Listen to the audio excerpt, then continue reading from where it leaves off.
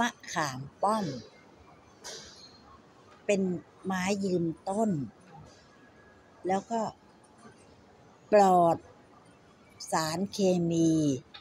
เพราะว่าแมลงไม่ชอบเจาะ เรียกว่านอกจากจะปลอดสารเคมีแล้ว ยังให้คุณค่าในทางวิตามินซีซีวิตามินซีสูงสุด โดยเฉพาะ มะขามป้อมนี่นำไปรับประทานได้หลายอย่าง จะรับประทานเป็นแบบจิ้มกับน้ำพริกก็ได้ รสชาติเขามหัศจรรย์ตรงไหน ตรงที่ว่า เออ มันแรกๆมันจะไม่อร่อย แต่พอเข้าคอ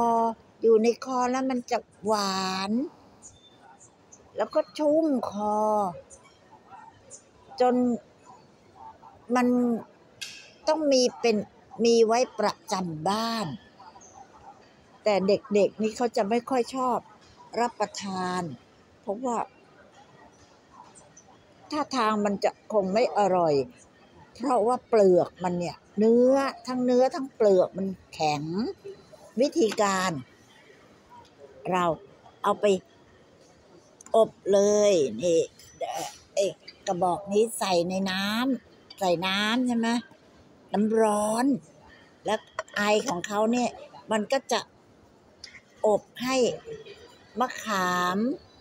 มะขามป้อมนี่นิ่มขึ้นมาอีกหน่อย แล้วก็รสชาติความฝาดหายไป มีความหวานเข้ามาแทนที่ แล้วเวลาเคี้ยวก็ง่ายคือไม่แข็งเกินไปนิ่ม อร่อยโดยไม่ต้องไปแช่อิ่มเลย แล้วก็ช่วยในเรื่องคออักเสบ คนที่น้ำลายเหนียวอะแบบแบบมีเสมหะบ่อยๆ ไอบ่อยๆ ไอจนคออักเสบ ก็ มารับประทานมะขามป้อมกันเถอะ เพราะในชีวิตเราในทุกวันนี้มันอยู่นอกบ้านมาก แล้วก็รับประทานอาหารที่ปรุงด้วยผงชูรส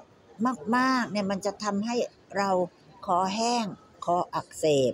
อย่าลืมมะขามป้อมนะจ๊ะ